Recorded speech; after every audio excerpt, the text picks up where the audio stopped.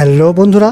Welcome to my YouTube channel jobs and knowledge আজকের ভিডিওতে আমি যে ভ্যাকান্সির ব্যাপারে আলোচনা করব, সেটা হলো পাঞ্জাব ন্যাশনাল ব্যাংকের তরফ থেকে এবং এই পাঞ্জাব ন্যাশনাল ব্যাংকের তরফ থেকে পিওন পদের জন্য কিছু ভ্যাকান্সি নোটিফিকেশান অফিসিয়ালভাবে বার করা হয়েছে এবং এটা কিন্তু উচ্চ মাধ্যমিক যোগ্যতা হলে তোমরা আবেদন করতে পারছ এবং এই রিক্রুটমেন্টে নিয়োগ হবে কলকাতা জোনের জন্য। তো তাহলে বন্ধুরা, তোমরা বুঝতেই পারছ যে এটা একটা খুব ভালো অপরচুনিটি তো তাহলে চলো বন্ধুরা, আর দেরি না করে দেখে নেওয়া যাক অফিসিয়াল নোটিফিকেশানে বিস্তারিতভাবে কী কী তথ্য দেওয়া হয়েছে। বন্ধুরা, এটাই হলো পাঞ্জাব ন্যাশনাল ব্যাংকের তরফ থেকে অফিসিয়ালভাবে প্রকাশিত নোটিফিকেশন নোটিফিকেশনে বলা হয়েছে পিওন পদের জন্য এখানে কিন্তু নিয়োগ চলছে এবং এটা কিন্তু কলকাতা সার্কেলের জন্য নিয়োগ করা হবে। এখানে ডিস্ট্রিক্ট ওয়াইজ ভ্যাকান্সির লিস্ট এখানে দেওয়া রয়েছে যেখানে কলকাতা জোনের জন্য টোটাল ভ্যাকান্সি আছে আটটা এবং নর্থ চব্বিশ পরগনার জন্য এখানে ভ্যাকান্সি আছে উনিশটা। অর্থাৎ টোটাল ভ্যাকান্সি আছে সাতাশটা এবং ক্যাটাগরি ওয়াইজ ভাগগুলো এখানে ছকের মাধ্যমে দেওয়া আছে, এগুলো তোমরা একটু দেখে নেবে। এরপর এলিজিবিলিটি ক্রাইটেরিয়ার মধ্যে এখানে প্রথমে রয়েছে বয়সের ব্যাপারে, যেখানে বয়স গুনতে হবে এক এক দু হিসাবে এবং এখানে মিনিমাম বয়স হতে হবে আঠারো এবং ম্যাক্সিমাম হতে হবে চব্বিশ বছর।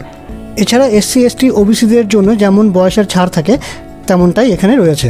এরপর রয়েছে এডুকেশনাল কোয়ালিফিকেশান যেখানে উচ্চ মাধ্যমিক পাশ করে থাকতে হবে এবং রিডিং এবং রাইটিং নলেজ দরকার ইংলিশের ওপরে অর্থাৎ সাধারণভাবে ইংরাজি পড়তে এবং লিখতে জানলেই কিন্তু হচ্ছে। এবং তার পাশাপাশি এখানে কিন্তু উল্লেখ করে দেওয়া রয়েছে যে গ্র্যাজুয়েট ক্যান্ডিডেট হলে কিন্তু এখানে এলিজেবল নয়। এবং এখানে বলা হয়েছে যে যে ডিস্ট্রিক্টের জন্য আবেদন করা হচ্ছে, আবেদনকারীকে সেই জেলার বাসিন্দা হতে হবে। এবার এখানে দেওয়া রয়েছে কোন কোন ডকুমেন্টস এখানে প্রয়োজন। তার একটা লিস্ট এখানে করে দেওয়া রয়েছে। এগুলো তোমরা একটু দেখে নেবে। এই সকল ডকুমেন্টসগুলো প্রয়োজন এই আবেদনটা করার জন্য।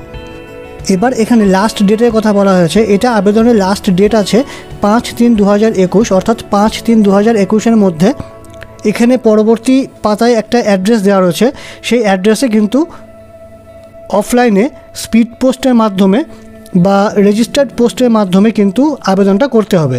এবং যেহেতু এটা অফলাইনে আবেদন সেই জন্য এই সকল ডকুমেন্টসগুলো সমস্ত জেরক্স কপিগুলো সেলফ অ্যাটাস্টেড করে কিন্তু পাঠাতে হবে। এবং আবেদনটা এই ঠিকানাতে পাঠাতে হবে এবং অফলাইনে আবেদন করার সময় এনভেলপ বা খামের ওপরে কিন্তু এখানে এই যে কথাটা উল্লেখ করা রয়েছে, অর্থাৎ এই পোস্টের নাম উল্লেখ করে এই লেখাটা খামের ওপর কিন্তু লিখতে হবে। না হলে অ্যাপ্লিকেশন ক্যান্সেল করা হবে এবং এই অ্যাপ্লিকেশন অবশ্যই কিন্তু স্পিড পোস্ট বা রেজিস্টার্ড পোস্টের মাধ্যমে পাঁচ তিন দু হাজার একুশের মধ্যে উপরের এই ঠিকানায় পৌঁছাতে হবে। তাহলে বন্ধুরা, এটা কিন্তু তোমাদের জন্য একটা খুব ভালো অপরচুনিটি তো সেই জন্য তোমরা কিন্তু যারা আবেদন যোগ্য আছো, অবশ্যই কিন্তু আবেদনটা করে দিও। এবং আজকের এই ইনফরমেশনটা যদি তোমাদের ভালো লাগে এবং উপকারে লাগে, তাহলে ভিডিওটিকে অবশ্যই অবশ্যই লাইক করো এবং বন্ধুদের সাথে কিন্তু শেয়ার করতে ভুলো না, যাতে তারাও এই আবেদনটা করতে পারে। তো তাহলে বন্ধুরা, এই ধরনের সমস্ত চাকরি সংক্রান্ত তথ্য এবং রিজনিং এবং জিআই ক্লাসগুলো পেতে জবস অ্যান্ড নলেজ ইউটিউব চ্যানেলকে অবশ্যই সাবস্ক্রাইব করে রাখো এবং বেল আইকনটা প্রেস করতে কিন্তু ভুলো না। তো তাহলে বন্ধুরা, আজকের ভিডিওতে এটুকুই ভিডিওটা সম্পূর্ণ দেখার জন্য অনেক অনেক ধন্যবাদ। ভালো থাকো, সুস্থ থাকো জবস অ্যান্ড নলেজ ইউটিউব চ্যানেলের সঙ্গে থাকো।